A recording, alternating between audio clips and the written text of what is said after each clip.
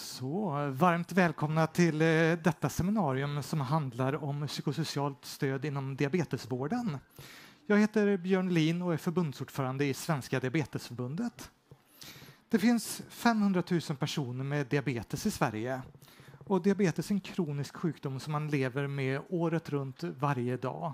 Och det ställer ju stora krav att sköta sjukdomen hela tiden. Det är inte något man kan ta semester ifrån eller sluta tänka på. Och vården traditionellt brukar fokusera på de hårda värdena. Hur ser det ut? Hur ser HbA1c ut? Hur ser eh, blodtryck ut och så vidare.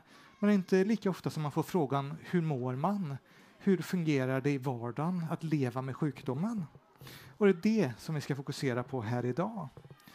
Svenska Diabetesförbundet gjorde en undersökning i höstas som visade att en eh, av två personer upplever att vården inte alls uppmärksammar deras behov av psykosocialt stöd. Och eh, i eh, eh riket så var det 36 procent som sa inte alls överhuvudtaget att uppmärksammas på något sätt. Och i Stockholm så var det hela 45 procent som upplevde samma. Och fyra av tio Eh, har angett att de har eller har behov av psykosocialt stöd. Och I Stockholm är den siffran ännu högre, 46 procent.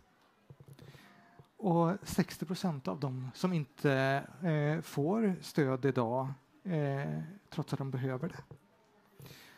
Och vi finns på plats eh, för personer med diabetes eh, så man kan få stöd under året. Och nu ska vi idag prata om hur kan man få det utav vården. Så att jag lämnar över till dagens moderator. Varsågod. Eh, tack så mycket. Jag vill också hälsa er välkomna hit. Jag heter Lars Jonsson. Eh, vi har delat upp den här timmen i tre delar. Eh, först så ska vi eh, lyssna på eh, David Natansson som är eh, läkare och chef på KI för den enhet som bland annat jobbar med diabetes. Eh, han ska berätta lite grann om hur forskningsläget ser ut i de här frågorna. Sen så ska vi prata med Louise Granlund som är vice ordförande i Ung Diabetes som ska prata lite grann om hur ungdomar mår. För den här undersökningen visar också att ungdomar sticker ut negativt. De eh, mår sämre och har svårare att få stöd. Och sen ska vi avsluta allt sammans med ett panel, panelsamtal och då har vi med oss eh, två framträdande regionpolitiker som har viktiga roller i de här eh, frågorna. Så de ska vi bjuda upp här på scenen. Och då ska vi diskutera just hur förutsättningarna ser ut när det handlar om eh, att få stöd i Stockholm. Hur kan behoven mötas? Men jag vill börja med att lämna över till dig, David. Varsågod. Tack så mycket. Eh, trevligt. David heter jag. Jag är diabetesdoktor sedan eh, många år tillbaks och jag har jobbat på SÖS och nu jobbar jag på Karolinska KI i, i universitetet och Karolinska sjukhuset i sjukhuset. Inte så lätt att hålla isär, det är många som... Men så, och jag är ansvarig där för endokrinkliniken där som har väldigt mycket verksamhet mer än diabetes, men idag fokuserar vi på diabetes. Då. Och, eh, jag lever själv inte med diabetes, dock så har vi kollegor som gör det. Och, eh, ni vet som gör det att det är någonting som påverkar er varje minut hela tiden som lever med detta. Och det ger upphov till eh, frustration, till eh, kanske ångest, eh, eh sämre livskvalitet och så vidare. Eh, inte så att det gör det hela tiden, varenda minut, men det, det ökar risken för det. Och det finns också friskfaktorer som man ska beakta också, både frisk och riskfaktorer.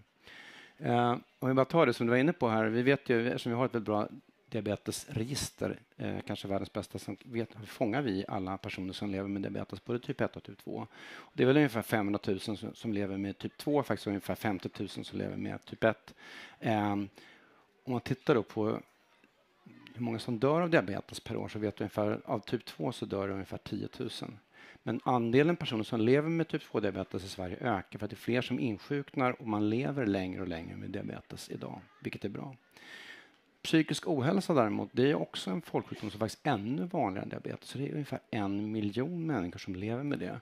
Man räknar med att ungefär varannan person som lever på jorden där i Sverige kommer drabbas av psykisk ohälsa någon gång. Då.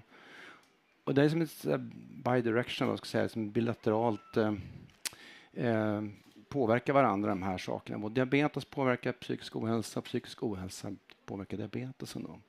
Och, eh, det finns ju massa studier som, som, som, som evaluerar, men det kom en, en, studie, en dansk studie, eller en så kallad metaanalys. Alltså en, man gick igenom 34 stycken eh, analyser i sig av, av sammanlagt 245 stycken artiklar. Då. Och då såg man sambandet, jag måste ställa mig här för jag ser själv inte riktigt texten, ehm, eh, mellan eh, diabetes och psykisk ohälsa. Då. Här bara liksom såg man lite förekomsten av diabetes bland olika typer av ohälsotillstånd. Då. Så man har sömnstörning faktiskt ett väldigt vanligt eh, förekommande diabetes bland de som har sömnstörning. Det är framförallt typ 2-diabetes jag pratar om. Här. Men det, och eh, bulimi, eller snarast hetsätning, är också ett tillstånd som är starkt sammankopplat med diabetes, typ 2-diabetes. Även olika typer av missbruk är starkt kopplat med, med förekomst av typ 2-diabetes. Liksom sjukdomstillstånd och även lite, kanske inte helt lätt att förstå, men psykossjukdom eh, och däribland schizofreni faktiskt också. Och depression som är kanske den vanligaste eh, sjukdomen som man kan leva med som är psykiatrisk sjukdom då, eh, är också starkt eh, kopplad till diabetes. man vet att man, man har en ökad risk också för att få de här tillstånden, i synnerhet kan jag säga depression, eh, om man har diabetes. Och det gäller både typ 1 och typ 2 diabetes. Eh, så. Eh, och lite så här en amerikansk studie som visade att eh, ganska stor andel av den psykiatriska ohälsan, eller sjukdomen faktiskt i fallet, är odiagnostiserad. Och vad beror det på? Vi kommer komma in på det lite grann. Eh, man fokuserar ofta på en sak när man, eh, man träffar någon, man är specialist och träffar en med en specifik sjukdom. Man liksom lite, lite blind, man får nästan lite tunnelseende och ser en sak åt gången. Och det här så tycker vi måste jobba lite mer med och, och liksom eh, få till en större medvetenhet om. Eh, och eh, om man tittar lite bara lite specifikt vad det finns för kopplingar då, eh, kortfattat då bara. Så depression, som, som jag sa så ökar diabetes i sig risken för att få depression. Och bland de som har depression så ökar risken att ha diabetes. Det finns en hel del eh, biokemiska, alltså, alltså eh, signalsubstanser i kroppen som kan, som kan påverka, som, som, som kan ge upphov till diabetes om man har depression till exempel. Man får högre nivåer av stresshormonet kortisol, man får högre nivåer av leptinhormonet och man kan också se inflammation som påverkar risken för att få diabetes. Eh, så. Och sen ångesttillstånd, då, det, det, det är vanligt förekommande och kanske ännu mer vanligt förekommer bland de som lever med typ 1-diabetes. Eh, som ni ser, så, så, ni, vet, ni vet kanske en del av er att om man får hypoglykemi eller lågt blodsocker eh, vilket är obehagligt, så framkallar det symptom faktiskt med ganska snarlika ångest. Alltså darrning, skakning, kallsvett, eh, så, hjärtklappning. Det, det är eh, i princip de kroppsliga symptomen som ångest ger upphov till. Eh, och, eh, vi vet också att, att eh, generaliserat ångestsyndrom, GAD, eh, är något som ökar risken för diabetes också.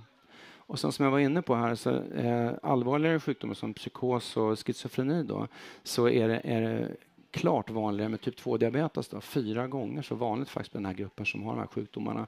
Och eh, in, man kan säga då att man har sett att Eh, Eh, de som har schizofreni då har en ökad insulinresistens, alltså ökad motståndskraft mot det egna insulinet eller mot insulin, vilket gör att man får högt blodsocker. Då.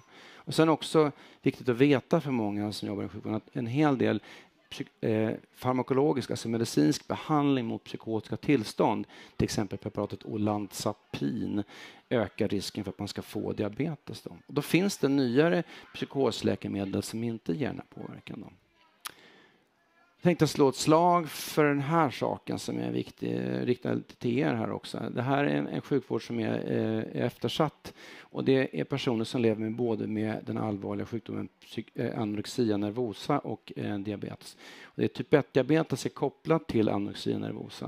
Det här är en ganska nedslående studie. Jag ska inte säga att den här riktigt visar sanningen, för jag har lusläst den lite grann. Den, eh, det, det, är inte helt alltså, svårt att säga om siffrorna verkligen är exakta, men Eh, om man ser på dödlighet, det här ser man då överlevnad. Ju högre upp på den här eh, y-axeln då, desto mer överlever man och eh, här är tiden på, på x-axeln då. Ser man om man typ 1 diabetes så har man en ökad minskad överlevnad. Då. Man ska säga lite positivt, man lever mycket längre med diabetes nu. Det finns mycket bättre behandling, både typ 1-diabetes och typ 2-diabetes. Vi har goda förhoppningar om att kunna minska eh, den minskade överlevnaden väldigt, väldigt mycket med nya pumpar och så vidare. Det ska vi inte prata om nu, utan vi pratar om ohälsa, psykisk ohälsa. Har man anorexia nervosa då, så ser ni en, ungefär sju gånger ökad dödlighet i den här studien jämfört med de som en vanlig del av befolkningen som är var, har varken det ena eller andra sjukdomen, men de som har både och. Väldigt, väldigt dålig prognos. Och här, är liksom, här saknar vi, det kan jag säga, jag vet att vi saknar faktiskt specialinriktade enheter för det här. Jag försöker eh, eh, skapa liksom samverkan mellan olika enheter, psykiatri och, och eh, kanske diabetesenheter och även de som sköter patienter med, med malabsorption. Och så Men det, det här är ett tillstånd som vi bör lite lyfta lite grann. Som tur är ganska ovanligt, men, men det är, ett allvarligt tillstånd. Om vi kommer till livskvalitet då, Eh, kan man säga, vi har många saker som påverkar livskvaliteten. Vi har diabetesen i sig som ger upphov till massa saker som gör att man mår sämre i sig, psykisk ohälsa i sig. Sen har man risk för depression och en funktionsnedsättning som beror på de här. Då. Och eh, vi kan säga att eh, 20 till 40 procent med patienter med typ 1-diabetes då, eh, som lever med det eh, har också en specifik diabetesrelaterad distress som det är på engelska, eller ångest. Då. Och två kritiska tillfällen när man kan drabbas det är när man får sin diagnos eller när man då får sin första komplikation av diabetes. Så komplikationer är som ni kanske vet eh, hjärt-kärlkomplikationer, hjärtinfarkt, stroke eller eh, påverkan på, med fotsår eller eh, kanske vanligast eh, eh, påverkan på ögonbotten då, eller njurarna. Då. Eh, titta på lite positivare saker. Det finns ju risk och det finns frisk faktorer. Då. Friskfaktorer är förstås om man är psykiskt frisk, om man är kroppsligt frisk, självklart.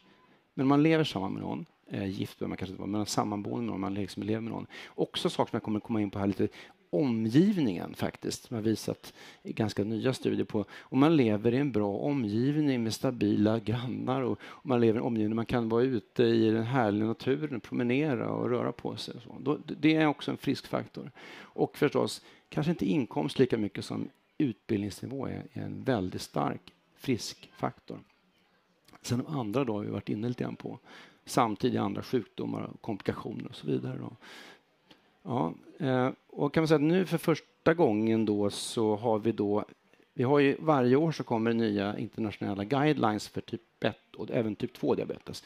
Det här gäller då American Diabetes Association, amerikanska diabetesassociationen som är väl den främsta kanske, den främsta experterna i världen som sitter med där, som kommer då med sin årliga rekommendation 2021. För första gången då så har vi då en rekommendation, faktiskt den här sektionen som handlar om psychosocial care.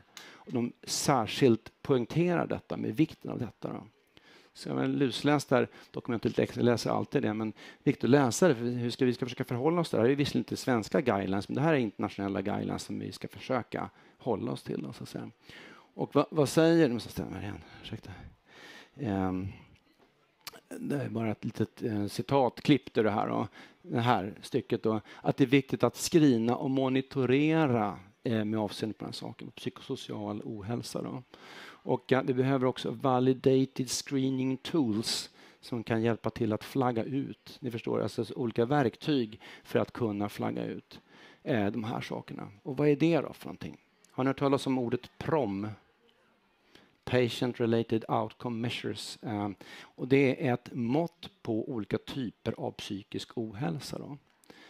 Vi har faktiskt i Sverige tagit fram, jag ska inte ta åt mig den här, utan det är göteborgarna som har gjort det i, i nationella som har tagit fram det här, ett, ett eget instrument som är diabetesspecifikt, som tar hänsyn till de här sakerna. Hur mår jag? Hur har jag? Lite mer generella faktorer. Och sen om jag får stödet från diabetesorgan. Och här är också något som vi kallar för PREM, the Patient Related Experience Measure, hur man upplever sjukvården. Det är faktiskt också viktigt att veta. Och sen har vi de medicinska mått. Och det är 12 dimensioner det här, det är lite svårt. Det är man, olika som man hanterar och det är 30 batteri med 30-tal frågor. Då. Jag sitter nu med ett europeiskt samarbete med, där man försöker sätta upp eh, databaser i fyra länder i Europa, inte Sverige, för vi har ju faktiskt diabetesregistret, där man ska införa då en monitorering där patienterna rapporterar in data, sjukvården rapporterar in data och man också tar fram, vi har just gjort en litteraturgenomgång på, på vilka verktyg som man kan använda sig av. Det finns en uppsjö av diabetesspecifika och diabetesospecifika verktyg. Vi kommer att köra på vår egen modell som är validerad i svenska förhållanden och den finns ju förnämligt nog i vårt register. Så vi kan få in, vi bjuder in de som kommer till mottagningen innan man kommer till oss och så får man resultatet på den här och så kan man se lite som ett EKG nästan. Man kan se eh, vilken parameter som man kanske ska fokusera på. Det som är lite svårt är att få folk att svara på enkäten. Och att så. Det, det tar lite tid att göra, men ju mer som, som vi kan få till att eh, och implementera här i, i, runt om i Sverige, det är också viktigt förstås. Så det ligger vi lite efter med, men vi jobbar på det just nu. Ja, eh, fortsatt rekommendationer då, att som jag kommer komma in på kanske diskussionerna. Vad behövs då? Eh, här står att diabetes, the, the diabetes care team should include a mental health professional, alltså en psykiater eller en psykolog eller en kurator, social worker. Eh, för att råda eh, teamet och liksom, kunna få hjälpa till med att hitta hur man ska behandla den psykiska ohälsan. Då. Eh, och eh, sen också eh, supporta alltså de, de, sociala behoven av en kurator, viktigt också. och sen så important, viktigt att, att de som behandlar har en god förståelse av diabetesbehandling och kan integrera behandlingen här. Och det här är utmaningar som vi står inför. Vi kanske kommer återkomma till det lite grann i samtalet sen. Men, men det, det, här är, det här, vi uppfyller inte det här kan jag säga riktigt i nuläget. Vi, vi måste jobba mer. Och det, men jag, jobbar på ett, jag jobbar på Sveriges näst största sjukhus med väldigt stora resurser. Och vi, har, vi har precis nätt och jämnt det här. Vi har det. Men, men eh, mitt gamla sjukhus hade inte det. Så det, det, här, är, det här är en bristvara kan jag säga. Eh, första punkten här. Så att, eh, det är så. Och vägen, vart bär den någonstans? Framåt hoppas jag. Lite krokig kanske. Ja. Tack.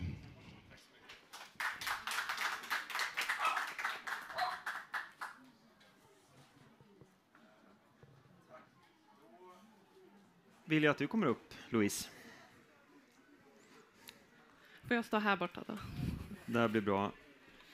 Du är ju alltså då vice ordförande i Ung Diabetes. Och den här undersökningen som eh, Björn nämnde i inledningen, mm. där sticker ju ungdomar ut unga då mellan 18 och 30, de, eh, undersökningen visar att de har ett större behov än övriga grupper. Vad, vad beror det på? Vad kan det handla om för utmaningar som du ser det? Alltså, om man tittar på åldersgruppen då 18 till 30 och kanske ännu mer om man också involverar 15, 16 och 17-åringar som Ung Diabetes ju också representerar.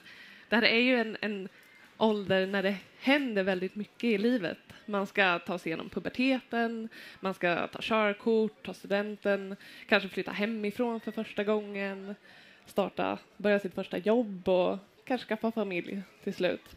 Så det är en väldigt turbulent period där det händer mycket annat. Och att då också behöva bolla en kronisk sjukdom som ju finns där varje dag, alla dagar i veckan, alla veckor på hela året, blir ju liksom en extra stress och press i en redan ganska turbulent tid. Mm. Eh, och det bidrar också med lite mer konkreta farthinder på vägen, till exempel att man behöver en extra läkarbesök för att få ta körkort och behöver vara extra petnoga om man till exempel vill försöka bli gravid eller så.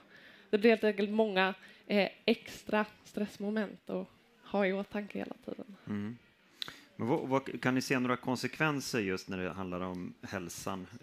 Just när det är brist på att kunna få rätt stöd? Ja, alltså vi ser att väldigt många i den här åldersgruppen upplever en stor ensamhet. Att även om man kan ha fint eh, stöd och bra personer runt omkring sig så till syvende och sist så är du ju själv med din diabetes. Eh, och om då den psykiska hälsan lite sviktar så kanske man inte mäktar med den här dagliga egenvården som ju är väldigt påtaglig. Och det blir en nedåtgående spiral till slut, vilket ju i långa loppet leder till större risk för komplikationer och mm. så. Eh, kan ni se att det finns någon särskild typ av eh, psykosocialt stöd som ungdomar skulle Alltså behovet ser ju väldigt olika ut förstås, men är det mm. någonting ni ser att den här insatsen skulle det behövas mer av just riktat till unga?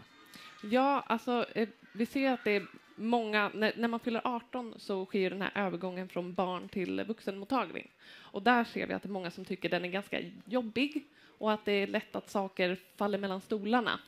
Har man under lång tid gått till samma barnmottagning och träffat samma läkare och kunnat bygga en fin relation och ett bra förtroende och sen ska den relationen ta slut och så måste man börja om och bygga ett nytt förtroende för en ny läkare. Och där tror jag att man kan göra mycket mer för att stötta upp den här övergången. Mm. Antingen genom tydligare riktlinjer eller om man kan skapa någon typ av ungdomsmottagning som kan fånga upp den här turbulenta perioden lite bättre. Mm. Eh, det är ju en grupp i den här undersökningen också som får stöd men som inte är nöjda med, med stödet de har fått. Vad, mm. vad kan förklaringen till det vara? För det finns ju ingenting i under, det finns ju ingen direkt fråga Nej. om det i undersökningen. Precis. Eh, jag kan tro att det dels kan vara att eh, om man då till slut har fått stöd, vilket ju är väldigt svårt att få, ser vi, eh, så även om man kan träffa en duktig kurator eller psykolog så är det inte alltid säkert att de vet så mycket om diabetes. Så i ett möte kan man hamna i en situation där mötet mer går ut på att jag måste undervisa den här kuratorn eller psykologen om vad är diabetes och vad innebär den här egenvården. Så istället för att jag ska få stöd och terapi kanske jag måste lägga mer tid på att förklara och eh, undervisa den här personen. Så jag tror vi behöver duktiga kuratorer och psykologer, men de måste också vara bra på diabetes och förstå vad det här är för någonting. Just det. Är det något, något ytterligare du vill skicka med innan vi går vidare, just kring ungas behov? Nej, jag tror inte det. Men mycket det här att, att stötta upp i övergången. Och speciellt också om man... Det är samma tid som man kanske flyttar hemifrån och liksom måste klara sig själv för första gången på så många andra sätt också. Så här behövs det mycket extra stöd för att man ska orka med diabetesen och flytta hemifrån och betala sina egna räkningar och ja, klara av att leva själv. Mm. Tack så mycket. Tack. Då ska ni få komma upp. Hunden får stanna där den är, men, men ni får komma upp och du får komma upp igen. Eh, då har vi med oss Desiree Petrus från Kristdemokraterna som är ordförande i eh, Vårdens kunskapsstyrningsnämnd. Och sen har vi också Lars Bryntesson från Socialdemokraterna som är andre vice ordförande i samma nämnd. Så att det här är ju två politiker som har eh, en bra inblick i de här frågorna. Eh, och sen så har vi med oss Björn också. Och då tänker jag så här att jag tänker i första hand rikta mig nu till, till Björn och till eh, våra politiker här. Och sen får ni, du får jättegärna komma in David eh, och begära ordet.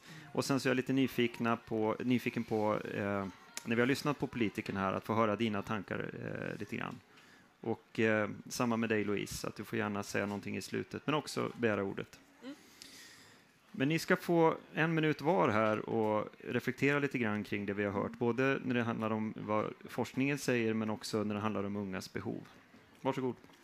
Tack så jättemycket. Och som sagt var ordförande då Vårdens kunskapsstyrningsnämnd och vi jobbar ju då med att använda den bästa kunskapen vi har för att utveckla olika eh, hur vi ska jobba med olika sjukdomar, liksom best practice. Och det är ju jätteviktigt att vi gör även när det gäller diabetes.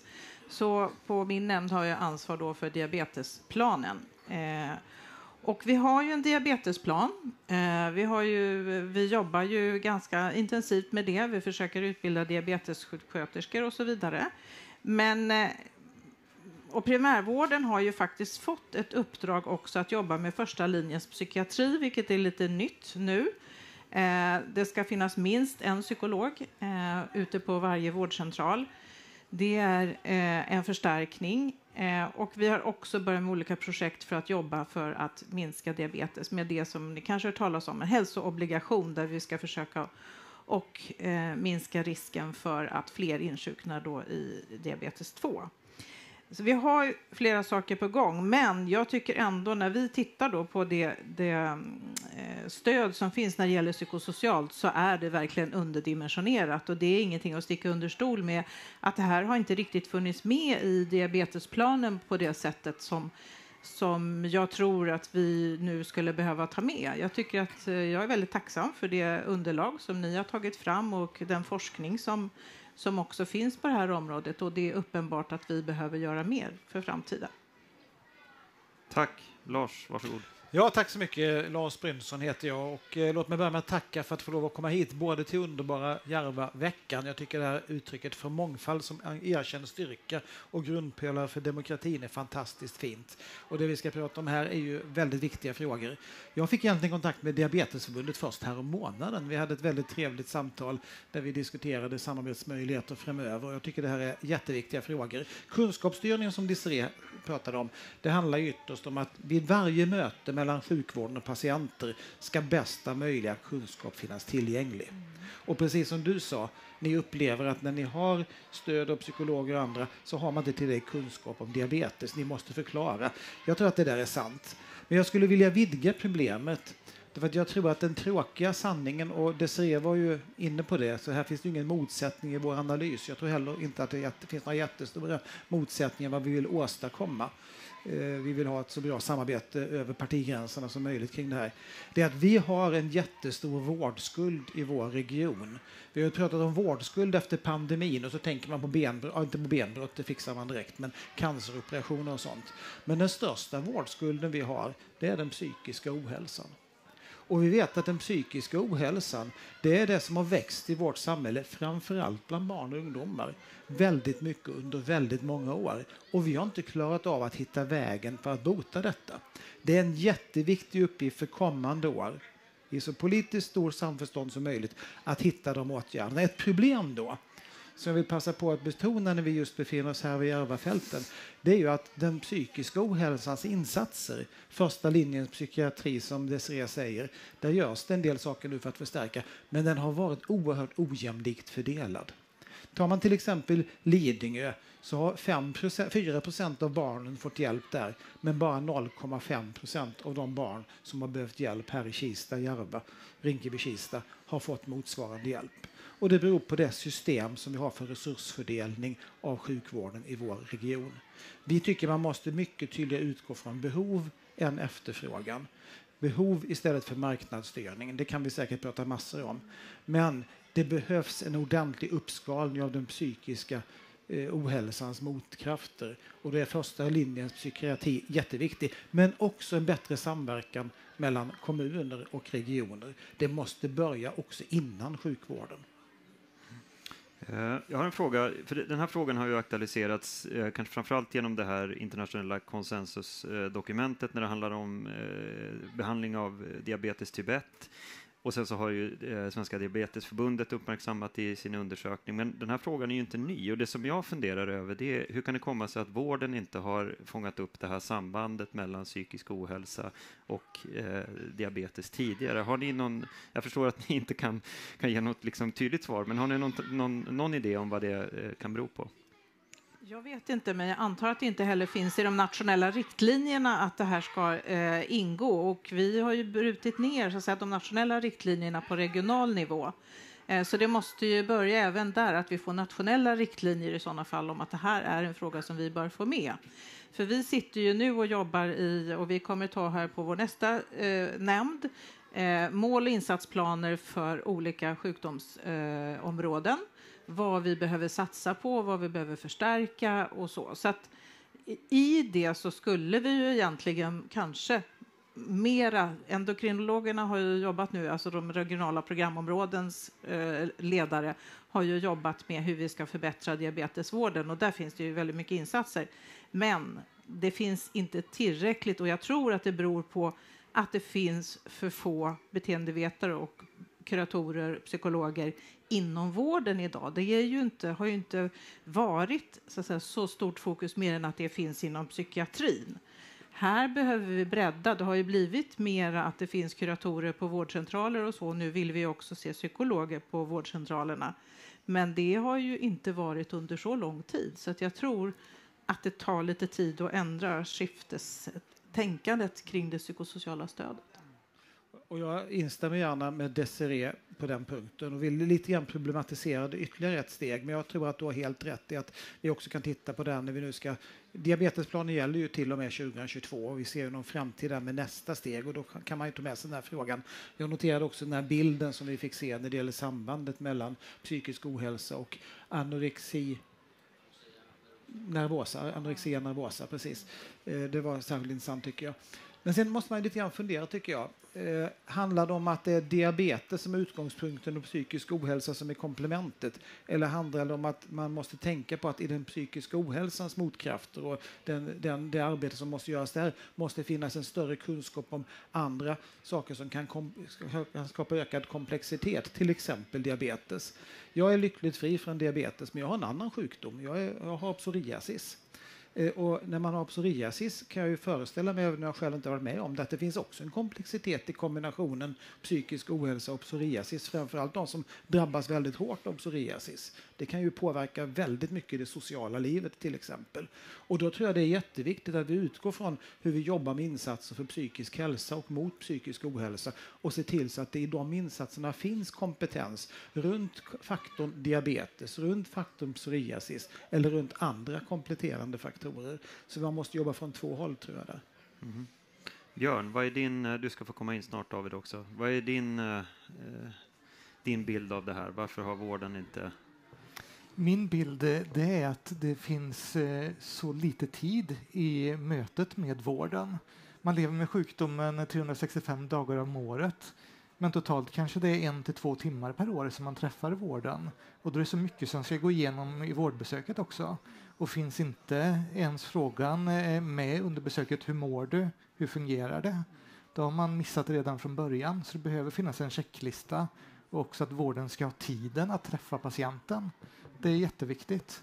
För här ser vi många som eh, en stor del av besöket går åt åt annat rent tekniskt för att få fram information för själva besöket och diskutera. Så där ser vi att eh, en checklista är väldigt viktig att ha med där. Och som nämndes tidigare, diabetesenkäten där är ett verktyg i det hela att ha ett underlag inför besöket. Tack David, ville du komma in? Jag kan säga, specifikt så tror jag att vi behöver mera special, specialistutbildade psykologer faktiskt då, och som har kanske, kanske för mycket hoppas på att det ska finnas jättemånga som kanske är specifikt kunniga på diabetes, vilket vi har haft någon. Jag känner bara till en psykoterapeut som är speciellt eh, duktig på detta i, i den här regionen kan tänka hur lite finns resten av Sverige då. Men om man kunde göra en satsning på specialistutbildade psykologer och kanske kuratorer också med terapeututbildning för personer som lever med kroniska sjukdomar och kunna lä lära dem, de lär sig då liksom hur man använder sig av olika verktyg för att plocka fram, flagga ut eh, olika typer av sjukdomsspecifik eller gener generell ohälsa då.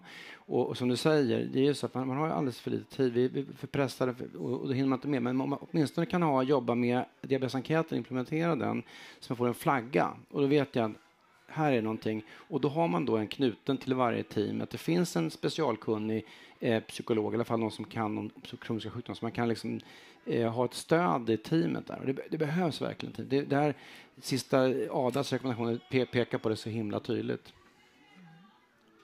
Lars? Ja, eh, jag vill ta upp en, du är läkare och jag vill ta upp en sak som jag tycker är häpnadsväckande i de här sammanhangen generellt i sjukvården. Så jag själv blev varse när jag fick en hjärtåkomma häromåret. Jag bytte aortaklaff eh, för ett och ett halvt år sedan. Hade jag inte gjort det så hade jag inte stått här, då hade jag inte funnits längre. Men vad som var för mig en fullständig överraskning, då har jag ändå varit eh, sjukvårdspolitiker i fyra år. Förvisso fritiden, fritidspolitiker, men jag är ganska rutinerad politiker för jag har varit kommunstyrelseordförande i två kommuner tidigare och lite annat, så jag vet ungefär hur de slipstenarna ska dras. Jag har lite grann samma bakgrund, Desirée och jag Desirée har varit i riksdagen och annat. Eh, men, men som fritidspolitiker då, och nybörjare i sjukvården, så tänkte man att ja, det här ska bli intressant att lära sig. Kunskapsstyrningen är fascinerande, jätteintressant, en bra idé. Men när jag då drabbades av en hjärtåkomma, och det är ju ganska tufft, alltså man, man dör, så visade det att det fanns ingen samlad journalföring på mina undersökningar. Det finns ingen samlad sjukhusjournal. Eh, jag fick själv, efter att ha blivit hänvisad av sjukvården i Stockholmsregionen till olika privata utförare av att göra undersökningar och ta olika prover och göra olika tester, så fick jag berätta för varje ny läkare jag träffade om vilka jag hade gjort på olika ställen. Och jag fick lägga pusslet och sen till slut lyckades vi komma på att jag behövde byta aortaklaff. Jag hade 8-10 procent blod som strömmade tillbaka i hjärtat och i december 2020 så var det 50 procent. Hade inte jag blivit opererad månaden efter hade jag inte funnits längre. Jag fick göra mycket själv. I en sån väldigt tydlig sak som att hjärtat inte funkar. Och det handlade väldigt mycket om, om avsaknad av samlat journalsystem. Och är det då så här att man har diabetes eller psoriasis eller annat och då är det naturligtvis självklart att man ska få frågan hur mår du? Och inte bara överslätande, det är väl bra. Hur mår du i verkligheten? Hur mår du här inne? Så måste ju också det kombineras med att sjukvården utöver kunskap om vad man kan göra, kunskapsstyrning, också måste ha kunskap om personen. Hur har du blivit behandlad? Vad har man gjort för analys tidigare och liknande? Och det saknas idag. Och det tycker jag är faktiskt ganska häpnadsväckande. Som patient förväntar jag mig att den jag träffar har en bild av vilka, ut, vilka undersökningar jag utsatts för tidigare och sånt där. Att jag ska behöva göra pusslet själv, det trodde inte jag. Och de som är allra sämst drabbade har ju svårast pussel att lägga själva. Det tycker jag är häpnadsväckande. Desiree ska få komma in, men vi tar en kort kommentar. Vi har en samma journalföring i regionen eh, där vi Take Care, de flesta offentligt drivna verksamheter har det. Problemet är att vi har en fragmentisering i vården och privata vårdgivare inte använder sig av samma system. Det är en politisk fråga. Det var, det, här, det var just det som var mitt syfte. Med att inte ha en sammanhållen vård, sammanhållna vårdkedjor och ett sammanhållet journalsystem, utan tillåta i någon sorts valfrihetens heliga namn en massa olika system som inte kopplar ihop. Regionen ställer inte ens krav på att de privata utförare som ska ha offentliga pengar ska ansluta sig till det journalsystemet. Det tycker jag är lite grann skandalöst faktiskt. Alla sjukhus, förutom det enda privat drivna sjukhuset, har, har Take Care och sen offentligt drivna vårdcentraler också. Men det är en bra, det är en bra fråga att driva. Ja, plus att det finns specialistmottagningar som man då mm. blir hänvisad till. Mm. mm. Heart Center och allt vad det var jag var som inte hade det. Det är medicinsk säkerhet, det är en viktig mm. fråga. Ja. Läser det.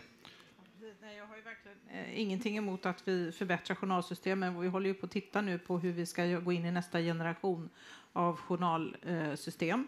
Eh, men det jag tänkte, det som, som du är inne på, du pratar om en annan sjukdom och, och eh, hålla ihop vården.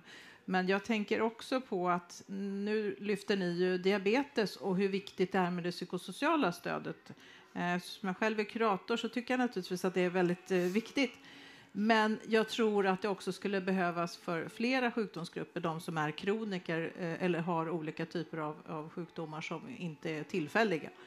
Så, men det har väl inte funnits, lite som jag var inne på tidigare, riktigt det tankesättet inom vården att sjukdomar. Vi har ju varit väldigt så här, att skilja på, på sjukdom som fysisk och medicinskt och eh, det psykologiska. Och här är ju ni inne på någonting som jag tror kommer bli allt mer viktigt i vården.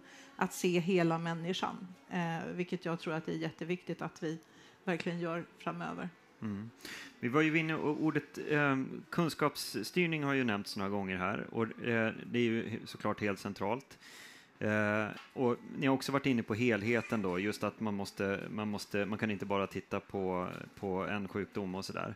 Men det jag tänker utifrån ett politiskt perspektiv, finns det inte möjlighet att i väntan på att vi får fram nationella riktlinjer och att vi liksom långsamt bygger upp resurser, skulle man inte kunna göra det som Björn är inne på, att man ser till att frågan om, om måendet ställs? Eh, att man driver på för att eh, enkäten ska användas, diabetesenkäten. Och jag tänker också just det här behovet av utbildningsinsatser. Där kan ju ni ha en, en eh, och, och också era politiker på nationell nivå ha en drivande roll i att se till att utbilda de här specialisterna. Så det tänker jag att vi, vi kan ju inte gömma oss bakom bara kunskapsstyrning och så, men vad, vad har ni för tankar där? Finns det inte några liksom, relativt snabba åtgärder som man skulle kunna göra här? Ja, men jag tror att det här måste ingå i det som vi jobbar då med våran, i våran nämnd med mål alltså, och insatsplanerna, att det liksom läggs in som en mer övergripande eh, del som alla ska jobba med och att det blir liksom direktiv ut och att det också finns med. Vi har ju olika viss.punkt nu där, där primärvården går in och söker på olika typer av sjukdomar bland annat och får kunskapsstöd. Och där kan man ju också lägga in då glöm inte bort eh, att fråga om det psykosociala eh, och kanske använda den här enkäten. Men det jag tänker att vi konkret kan göra det är ju att vi inför nästa nämnd så har jag bett att vi ska få en föredragning av eh, våra endokrinologer och våra, de som sköter det här regionala programområdet och som håller på att ta fram nu vilka mål och insatsplaner vi ska ha för kommande år. Och att vi där lyfter frågan att vi gärna skulle vilja se det här och att vi gör det tillsammans. Mm. Lars? Absolut, att vi gör det tillsammans. Desirée är en mycket duktig och lyhörd ordförande så vi har ofta den typen av dialog och kan göra saker tillsammans, vilket vi verkligen uppskattar. Eh, jag tycker absolut att man kan göra saker direkt, inte bara vänta på nationella riktlinjer. Nu ska man vara klar för sig att när det gäller just kunskapsstyrningen så är det här med nationella riktlinjer inte samma som staten som man ju ofta pratar om annars nationellt, utan kunskapsstyrningen emanuerar egentligen från SKL som det hette på den tiden, Sveriges kommuner och landsting. Idag SKR, Sveriges kommuner och regioner. Kunskapsstyrningen, eftersom sjukvården i vårt land är organiserad på regional nivå Staten har genom Socialstyrelsen och lagstiftning och annat ett visst inflytande, men det är regionerna som bär frågorna. Så det är summan av regioner och i viss mån kommuner som har skapat kunskapsstyrningssystemet och det byggs upp. Syftet är att man ska lära sig av varandra och sen ska viss högspecialiserad vård koncentreras till vissa orter i ett visst speciellt system och så.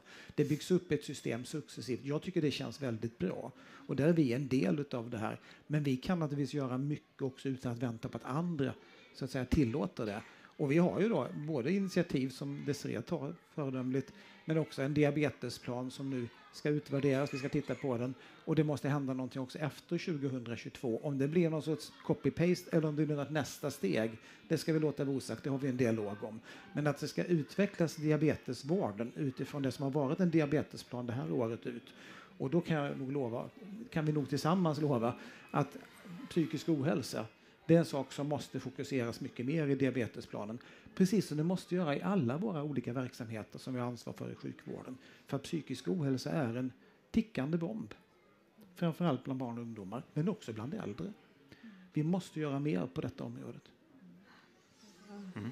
Jag tänkte bara också att jag skulle vilja lägga till eh, att vi har 15 vårdcentraler som har fått ett särskilt uppdrag i socioekonomiskt utsatta områden att försöka hitta och förebygga just bland annat diabetes och även fånga upp barn.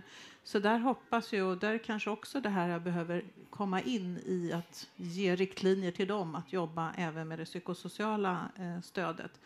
Men vi har ju, apropå det här med resursfördelning, så är Sverigedemokraterna ju emot att vi ger mer pengar till områden som är socioekonomiskt utsatta. Vi tycker ju att det är bra, jag tycker att det är väldigt bra och det är någonting som jag tror vi är överens om.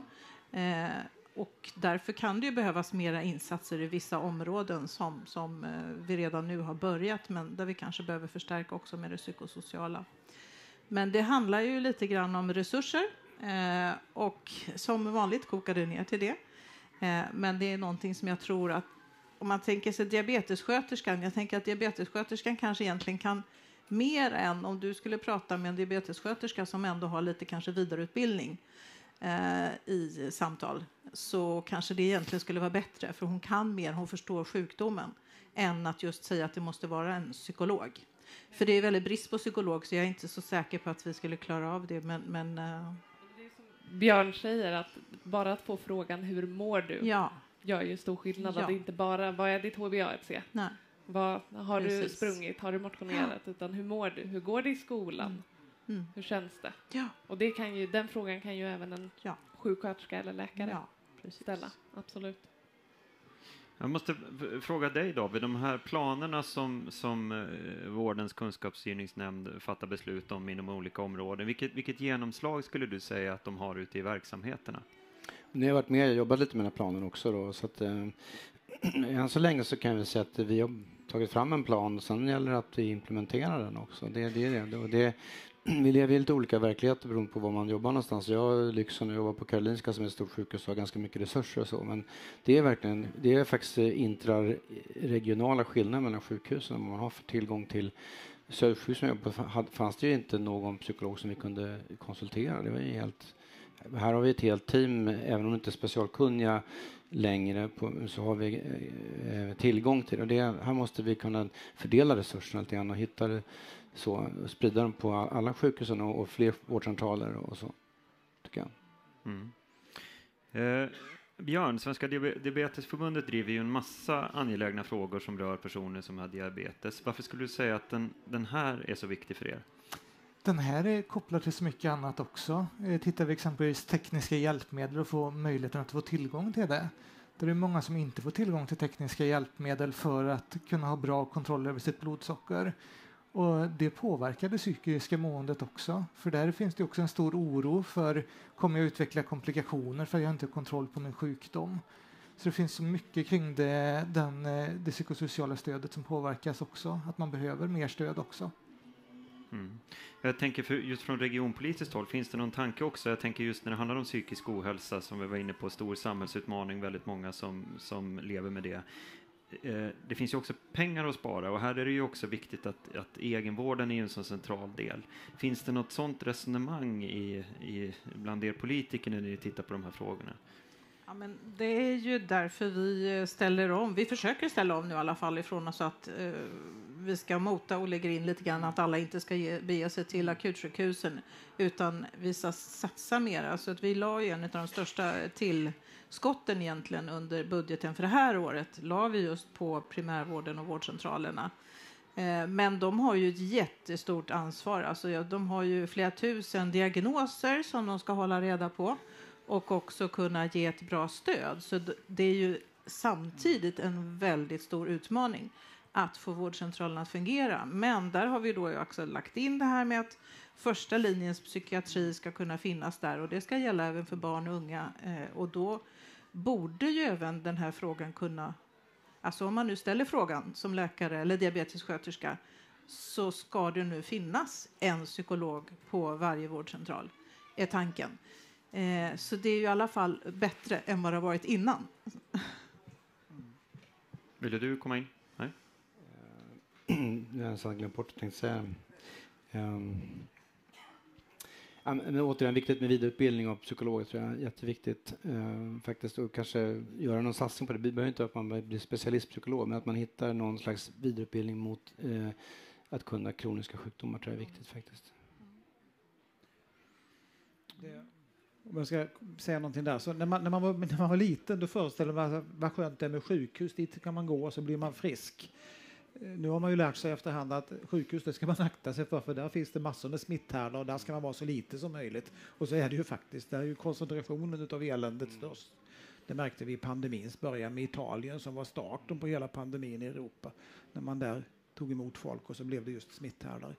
Men eh, det som jag tycker man måste gå emot är ju och där är ju både diabetes och psoriasis, jag nämnde mycket, det är ju, det är ju mycket egenvård. Ta hand om, och då blir läkemedel viktigt, läkemedelsutvecklingen blir viktig. Det är inte, man ligger ju inte på sjukhus för att bota varken psoriasis eller diabetes. Så det här med egen aktivitet, då blir ju också föreningslivet väldigt viktigt. Alltså det här med den sociala gemenskapen, lära av varandra. Och när jag pratade med er i Diabetesförbundet så lyfte jag fram det här med att jag skulle vilja se mycket mer, det är satsning på folkhälsa generellt, det har vi talat om ibland, det tror vi också är överens om. Vi måste vara bättre på förebyggande folkhälsa, men också på det man kallar för expertpatienter. Alltså människor som själva har erfarenhet av sjukdomen inte för att berätta bara om att så här är det för mig och jag lider av det och det, utan för att jag vet att människor som lider av det som jag har egen erfarenhet om, de tänker så här, de reagerar så här. Jag skulle vilja bygga upp ett system där man akkrediterar, legitimerar expertpatienter som patientorganisationerna själva tar fram, utbildar, legitimerar. Och det gladde mig att det finns ett sådant projekt på gång genom stöd från Allmänna arvsfonden. För där tror jag Desiree, genom att nyttja föreningslivet, den civilsamhällets resurser, människor med egen erfarenhet, då kan man utveckla väldigt mycket kring detta, också när det gäller kombinationsbehov på det här sättet. Det skulle jag vilja se mer utav. Mm, jag tänkte passa på att fråga och se om det är någon som, från publiken som har någon fråga. Nej. Du har en fråga. Varsågod.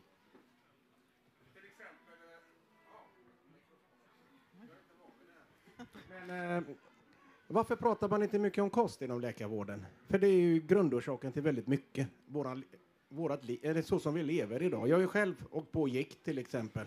Jag fick aldrig någon hjälp från sjukvården. Tills jag började ta reda på saker själv och kopplade in näringsspecialister. Där man tittar på värden i kroppen, vad som saknas, mina tarmar och allt vad det innebär. Det finns en dröse av folk, vi pratar om psykologer, men det finns en dröse av folk som är duktiga när det gäller livscoacher, alltså med ett brett spektra. Jag är bara lite nyfiken varför man aldrig tittar åt det hållet. Psykologer i all ära, där har jag också varit någon gång i livet, men, men varför tänker man inte utanför boxen lite? För, och, eh, min pappa har ju diabetes 2 och eh, gikt kan ju leda till diabetes 2. Och eh, oftast har ju det med autoimmuna sy symptom i kroppen att göra. Mm. Eh, sen är inte jag någon läkare, men så långt har jag kommit i livet. Mm. Så det var ju min fråga, varför man inte tittar lite utanför boxen. Att Ja. Livsstilscoacher och... Den frågan ligger ju lite utanför seminariet, men jag tror säkert att vi har någon som kan komma med en kommentar. Jag, jag tycker den är jätteintressant och den, den knyter lite grann in till det som jag sa. Vi måste tänka på folkhälsa i ett bredare perspektiv. Hur mår man? Hur lever man? Vad äter man? Vad, och allt sånt där. Va? Eh, Och det är klart, det finns ju en frågeställning då. Vad är, skill- vad är gränslinjen mellan det personliga ansvaret och det gemensamma offentliga ansvaret?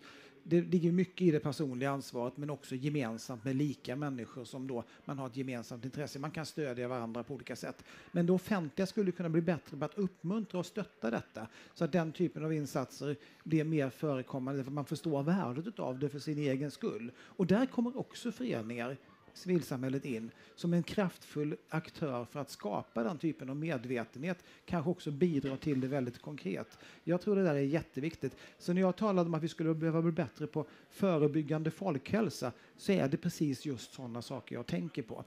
Din fråga då, varför har inte sjukvården gjort mer med det här? Ja, det är säkert både resursbrist men också fokus. Jag har jättestor respekt för våra enormt kompetenta läkare. Vi har duktiga läkare, vi har duktiga sjuksköterskor, vi har duktiga människor som jobbar i vården, labbanalytiker och allt annat. De måste också få vara duktiga på det de är duktiga på att utbilda sig till. Eh, men det har funnits historiskt också en sorts obalans inom situationstecken när det gäller makten. Därför att politiker är ju inte i närheten av lika kunniga som läkarna är. Vi ska ändå ha någon sorts övergripande ansvar att styra resursfördelning och liknande. Och jag tror att vi skulle behöva ha system där vi kanske också tittar på folkhälsa de här generella bitarna, men också ha respekt för att läkarna fokuserar av naturliga skäl för det de är utbildade på. Och det är det väldigt få som är, som är det har inte varit någon direkt högstatusutbildning att vara läkare i, i, folk, i hälsokost. Eh, och det, det får man... Jag har respekt för läkare. Det har blivit hjälp på många sätt, men någonstans har det stått. Har jag tänkt, okej, vad kom, jag kommer ingenstans. Nej. Och därför tror jag att man måste komplettera sjukvården med att betona, betona hälsovård. Det heter trots allt hälso och sjukvård. Ja, det Ja, var, nej, men jag tänker att eh, den ena delen är ju det här att förebygga. Eh, och där är det ju väldigt många aktörer egentligen som har ansvar. Det är liksom Nationellt folkhälsoinstitut eh, som, som ju har uppdrag att göra olika typer av insatser, folkhälsoinsatser eh, och hur vi ska leva ett bättre liv. Och där har vi ju, alltså vi tar ju upp det i många olika sammanhang. Men sen det ni är inne på uppfattar jag mer som när man väl har fått diabetesen vad är det för stöd som vi kan få då? Och att lyfta det här. Och jag menar, det kan ju räcka många gånger, som du säger, att vi ändå till alla de läkare, hela läkarkåren som jobbar på det här området, att man har ändå det här med sig. För jag kan tänka mig, du träffar säkert många som kanske ändå inte har det här psykosociala tänkandet med i, i, i samtalet med patienten. Så det bör ju börja där och sen är det så att man sen behöver psykolog ja, då kanske det blir att okej, vi säger att det ska vara en psykolog på vårdcentralerna idag, men det kanske kommer vara många fler i framtiden eh, för att vi ska verkligen eh, och även mycket mera ja, dietister och hälso, eh, hälsocoacher och så tror jag framöver för att verkligen bygga den här första linjens eh, vård som vi ju alla vill se. Jag tror det är viktigt med samverkan också. Det, som ni är inne på, det, det finns för få psykologer med specialistutbildning, det finns för få, alldeles för få dietister. Alldeles för få kan jag säga i Sverige, ett annat problem. Då måste vi jobba lite med att, att sprida kunskap med, genom samverkan, gemensamma träffar, man möts, man träffas, man utbildar varandra. Jag är inne på det med civilsamhället och eh, spridande av kunskap. Vi måste mera, mera nära varandra och kunna lära av varandra mer när det gäller de här hä- livshälsosakerna. Läkare är ju inte jätteduktiga på, på, på, häl- på kost och eh, nutrition faktiskt. Och vi har för få eh, dietister i Sverige. 1500 bara, alldeles för få. Ska släppa in Björn alldeles strax, men först kort. Jag bara knyta an till det och avrunda den biten? För jag, jag tror att det här är viktigare än vad vi förstår vi har ibland blivit för, och det säger jag som socialdemokrat och lite självkritisk till det här med det starka samhället. Vi har ibland blivit lite för att vi tror att med det starka samhället kan vi överlåta åt samhället att sköta våra problem. Vi måste ju faktiskt fundera själva också. Och det vi skulle behöva när det gäller de här bitarna med folkhälsa, det är ju en folkrörelse för bättre folkhälsa. Det är ju engagerade människor som stöttar varandra. Det gör inte Socialstyrelsen trots att man på 70-talet rekommenderade 68 skivor bröd om dagen och fick mycket skit för det. Va? Utan det här är ju faktiskt något som måste sitta hos oss tillsammans och bli en rörelse bland folket, en folkrörelse för bättre folkhälsa. Då kan man göra skillnad på riktigt. Mm. Mm. Vi börjar närma oss slutet här idag och jag tänkte om man lite slarvigt ska sammanfatta den här enkäten som ni har gjort så är det många som vill ha stöd, många som inte får stöd och bland de som har fått stöd så är det ganska många som har blivit missnöjda. Vad, vad, är liksom, om du Björn ska försöka ringa in, vad, vad, är det viktigaste som, som behöver göras på kort sikt? Det viktigaste är det vi var inne på nyss också, att just ställa frågan, att det finns direkt i kontakter med diabetessjuksköterska och diabetesläkare, att frågan ställs hur man mår. Det är ju första steget för att kunna fånga upp de som också kanske behöver ytterligare hjälp av eh, andra professioner. Mm. Så det är det allra viktigaste. Och är inte det också en fråga då som ni ganska snabbt med era, era styrverktyg så att säga kan, kan se till att det blir gjort? Alltså vi, kan ju, vi kan ju styra de här mål och insatsplanerna så kan vi ju lägga in det då som att det är någonting som vi vill se. Men vi lyssnar naturligtvis väldigt mycket på professionen. Eh, men vi kan spela in det här, absolut. Eh, men det har ju inte kommit, direkt konstigt nog, eh, har det ju inte kommit upp så mycket från professionen om jag ska vara riktigt ärlig. Eh, från de som jobbar med de här frågorna inom endokrinologi. Så, som jag nämnde, eller mm. tog upp med en, en som jobbar med det inom det regionala programområdet. Eh, häromdagen så sa han att nej, vi har inte så mycket kring det. Så att det vi, vi är väldigt beroende som politiker av mm. att en profession talar om också det här är viktiga frågor och sen så är vi då ska titta på vilka resurser behöver läggas för att de ska kunna göra ett bra jobb. Vi ska ju inte göra deras jobb och vi ska inte lägga oss i för mycket. Men vi kan ju gott och väl, tycker jag, spela in den här frågan på vårt nästa möte. Mm. När den här vi ska få mm. avsluta här alldeles strax. Louise, vill du säga någonting? Hur tycker du att det låter det här? vad, vad ser du fram emot för åtgärder när det gäller unga? jag tänker också det viktigaste är att få in det och att man ställer frågan. Men jag tror att det, det räcker en bit, men sen behöver man tillgång till något annat också. Vi som patientorganisation har ju en viktig roll att fylla, kan ju stötta upp varandra, men vi är inte heller, alltså, vi är inte professionella på det sättet att vi kan stötta om någon behöver mer hjälp. Så vi kan stötta en viss bit, men sen måste ju faktiskt sjukvården gå in och ta det ansvaret också. Tack. Lars, du ska få sista ordet här lite kort. Ja, och då tror jag som både jag och eh, Desiree sa i början, kunskapsstyrning handlar om att bästa möjliga kunskap ska finnas tillgängligt vid varje möte mellan patient och medarbetare i sjukvården. Det är liksom själva idén. Jag tycker ni fångar det väldigt bra. Ska man få kvitto på att det här funkar, då måste man både veta som professionell sjuksköterska, läkare eller vad man nu är, vad kan jag hjälpa den här personen på för sätt? Jag måste ha kunskap om behandlingar och mycket annat. Men det finns ju en annan sak man också måste ha kunskap om, nämligen personen. Det är därför jag lyfte det här med, med, med sjukvårdsregister eller med, med journalsystem. Men också, hur mår du? Jag skulle verkligen önska mig att den är den första frågan vid varje möte i en kunskapsstyrd organisation. Men det funkar ju inte som så, även om det hade varit praktiskt, att nu har vårdens kunskapsstyrningsnämnd beslutat att varje möte ska man ställa, inleda med frågan hur mår du? Och så skickas det ut till alla och så gör alla det för att det har vårdens kunskapsstyrningsnämnd bestämt. Så funkar det inte riktigt. Det finns vissa länder som försöker göra så, det gör inte vi. Men däremot kan vi fundera på om vi vill att det ska vara så i varje möte mellan patient och sjukvårdens personal. Vad måste vi då skruva i för centrala verktyg? Och då är det ju de här riktlinjerna och mycket annat. Och om vi då börjar prata om att kunskapsstyrning ska präglas av kunskap om sjukdomstillstånd, behandling och allt annat, men också mer om kunskap om individen, den egna individen, den individuella individen, då leder det till att man måste ställa frågan hur mår du? Och man måste veta vad det finns för historik för den personen också. Då leder det till ett samlat journalsystem bland annat. Men också den äkta frågan hur mår du på riktigt? Tack och tack så jättemycket alla ni som har bidragit här på olika sätt och tack alla ni som har lyssnat. Eh, jag vill passa på att tipsa er, som, ni som inte har varit och besökt eh, Svenska Diabetesförbundets tält här borta. Eh, gör det. De har öppet till åtta idag och de har öppet imorgon och på fredag mellan, 8 och 11, eh, mellan 11 och 8. Eh, på natten har de inte öppet. Eh, tack så mycket. Tack.